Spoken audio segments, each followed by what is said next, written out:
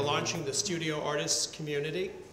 And uh, it's kind of ironic to call it the artist community because for 34 years, Studio in a School has been a community of artists. We're coming to speak to you in particular about how the arts community can support art education. But we have a few ways that we know you can help us.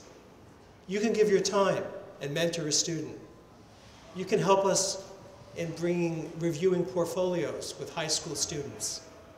You can conduct a gallery walk with a group of interested kids. You can visit a classroom. You can design something for us. You can take part in discussions and post your childhood artwork or tell us why you think art's important. You can shape and collect and curate exhibitions of student work. We exhibit student work because we value art and we want kids from the very beginning to know that art matters and that their ideas really count. So the call today is to join the studio arts community, to give voice to how important arts education is. And I have to say, it's my pleasure to ask you to, before you leave tonight, to think about the ways you can make a difference. Let's not let art be something that's marginalized.